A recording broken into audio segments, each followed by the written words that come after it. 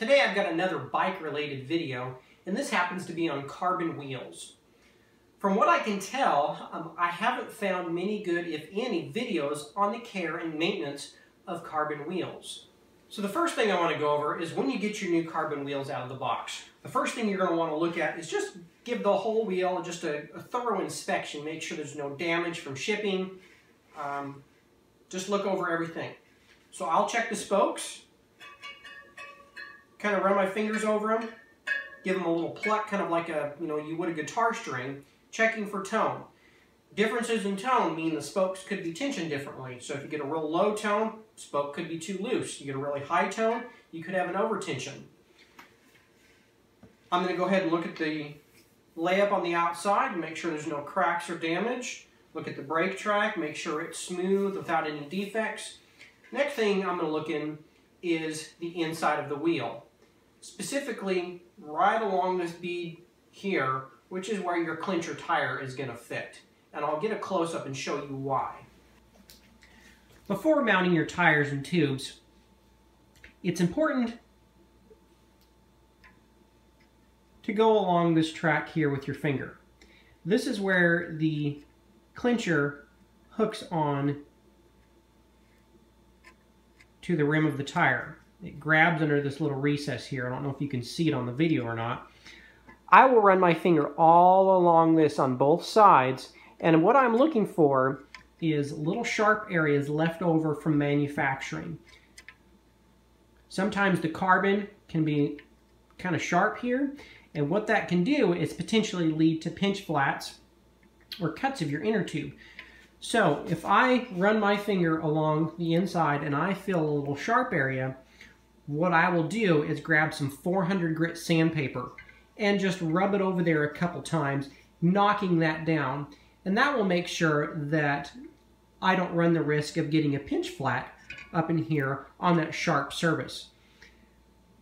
Carbon wheels that you can get on eBay tend to be a little bit cheaper quality, so they don't go through quite as many quality control inspections as an upper end set of wheels do. So this is very important, just making sure there's not leftover carbon in areas that you don't want it. The next thing I'll do is I'll go over and look at the actual rim tape. Make sure it was put on properly, make sure it's flat, make sure there's no areas that are inconsistent where my tube could possibly get damaged where I put on there. Some companies will actually send the rim tape that you install yourself, which is basically just a giant rubber band. Some is actually adhesive that's put on prior to them sending it out to you. So it's important just to go through and check that. The next thing I recommend is just taking your new wheel that you spent your hard-earned money on to a local bike shop. What they can do for relatively inexpensive, sometimes bike shops won't even charge if you say you buy a 10 inner tubes, is they can just check for true. They'll put it on a little machine or a little mount and run the dial calipers on either side. This will check if there's a wobble side to side. They can also check the dish of the wheel, making sure the spokes were tensioned evenly on one side so your wheel doesn't end up being warped. This will guarantee that when you get on out of your first ride, you're not going to have a problem um, and potentially leaving, leaving you with a damaged or broken wheel. So it's very important. My local bike shop, when I took a set of wheels in, charged me $5 a wheel. And actually, when I went in, I bought a set of tubes from them. They didn't charge me at all. Um, both of the wheels that I took in were actually, uh, the spokes needed tensioning a little bit. I'm glad I took them in. Now I feel confident that when I get out on those set of wheels, um, they're evenly tensioned and I don't have to worry about putting stress on the carbon in spots where I have a low tension spoke.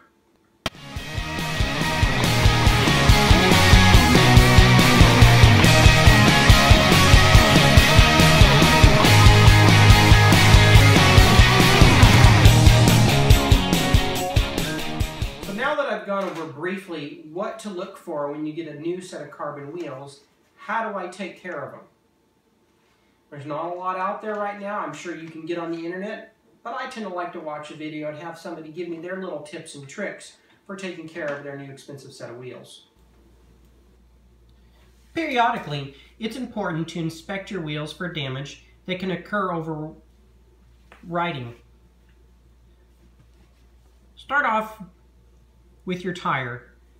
Look all over for nicks and cuts or places that it's been worn that might need repairing or might indicate that you need a new tire.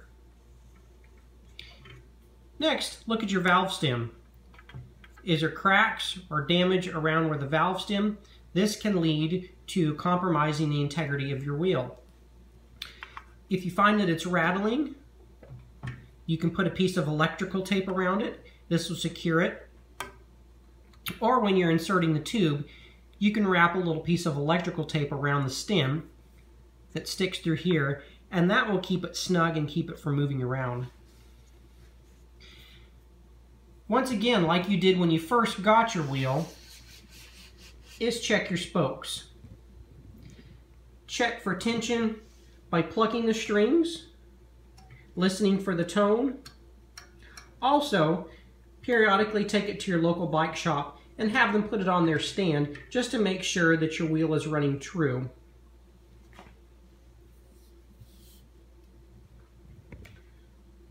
Look at your cassette. Make sure it spins freely and periodically clean it from all the debris and stuff that gets on it from the road. Degrease it, lubricate it, whatever choose lubricating you use. And this will help your chain last longer and prevent wear of your expensive cassette. One of the most overlooked and critical parts of maintaining your carbon wheels is the brake pads and the brake track on the wheel. The pad on the left, you can see there is a black shiny area on it. And this is a result of overheating the brake pad and also not maintaining the brake track on the wheel. This pad here is a fresh pad that's been cleaned. One of the ways to maintain your brake pads is to regularly check them after every couple rides to make sure that you don't have this going on. This right here will cause poor braking performance and can also cause your wheels to squeal. Look closely at little areas on the brake pad for any bits of embedded rock or metal or anything can get lodged in the brake pad. If you get little bits of rock and metal lodged in the brake pad, this can dig into your carbon wheels and actually can damage the brake track surface of your wheel, wearing your wheels out faster. If you get little areas like this, take a small pin or a safety pin or a tack or something pointing and just dig those little pieces of rock and metal out, making sure that your brake track is clean and free of any debris. If you do get glazing on your brake pads, you can take a piece of, say, 120 grit sandpaper, turning your pad over, and then just going back and forth. Remembering not to put too much pressure on one side or the other side so that you don't canter your brakes and it maintains flat. periodically take your brakes off after every couple rides and do this. And this will give you a clean braking surface for every ride, guaranteeing that you have the maximum amount of stopping power for any type of condition.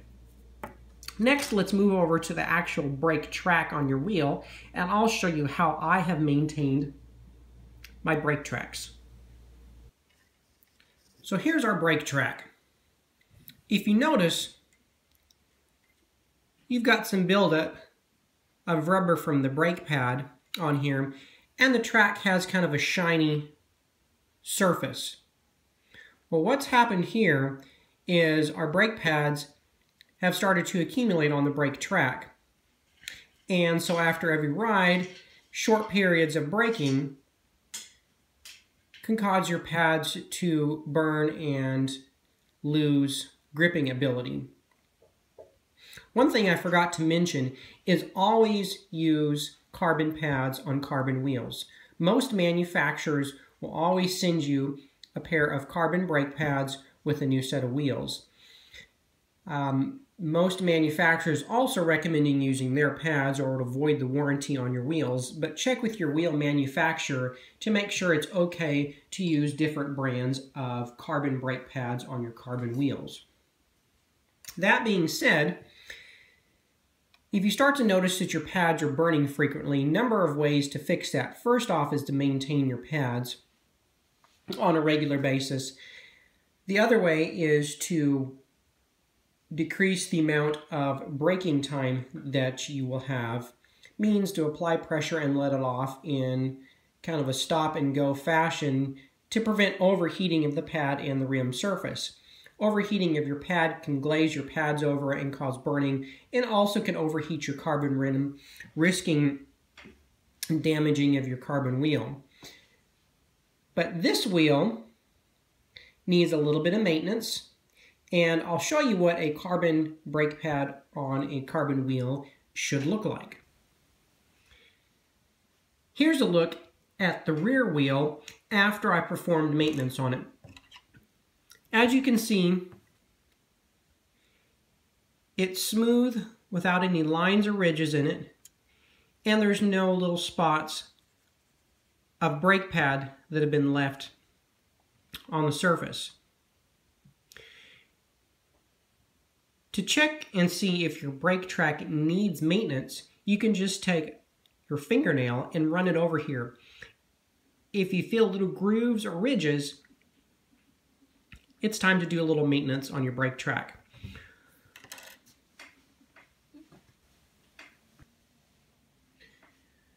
So one way that I have come up with to maintain my brake track, and some people may yell at me for this, is to use a little sandpaper on it. Now, they don't recommend using harsh chemicals or solvents on here because it can damage the resins in the carbon layup. So I will get a piece of good quality 400 grit sandpaper. If you feel um, like this is too abrasive or rough for you, you can go up to a 600 grit. It's just going to take you a few more passes um, and it's going to remove a lot less material. Now I'm not actually removing the carbon on the wheel. Um, what I'm doing is just going over the surface of the brake track itself and I am removing any loaded up material from the brake pads. Now you'll notice when you go over this a couple times that the dust that comes off here will usually be the color of the brake pad. And since in the instance these are blue on mine, I'm going to have a bit of blue dust coming off. That'll let me know that there is loaded up material on here and then I'm just removing the brake pad that's you know gummed up on here. Now, if you're using SwissStop yellows, you're going to have yellow brake dust, or just depending on the type of brake pad, you'll be able to tell by the color of the dust coming off of here. Make sure you get a good high quality aluminum oxide sandpaper. Don't get a cheap sandpaper because sometimes the grit on here can be an inconsistency and you don't actually want to put gouges in your wheel. Tear off a small strip. Fold the edge over so you have a nice, clean, crisp edge. And then start sanding.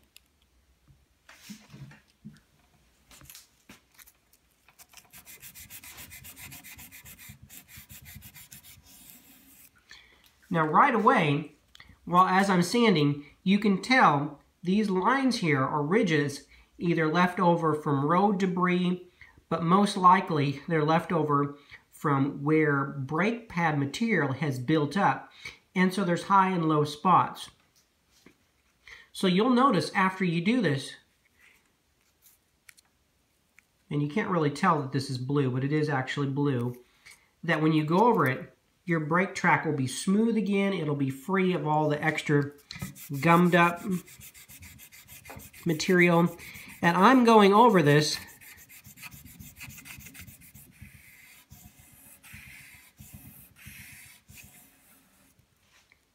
until my track surface is smooth. Now as I go, I'm going to keep folding over an edge and going all the way around my wheel. making sure not to get on the rest of the part of the wheel because you don't want to dull the finish of your wheel. Now with shiny wheels, you're going to have to pay extra careful attention because you don't want to take the gloss finish off of your wheel.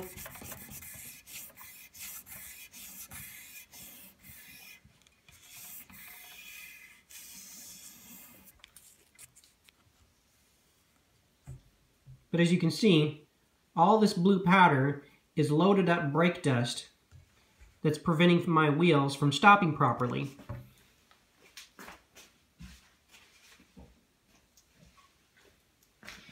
Now I'm just going to take a rag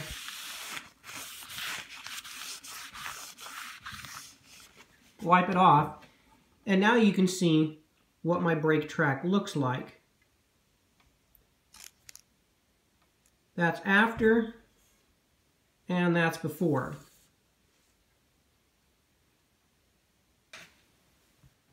Well guys, I hope that video was helpful. I've got a little work to do on my brake track here, so I'm going to go ahead and get finished with that. I know I may probably didn't cover everything, but um, I hope this video was helpful, and if you have any comments or more suggestions, go ahead and leave them in the comments below.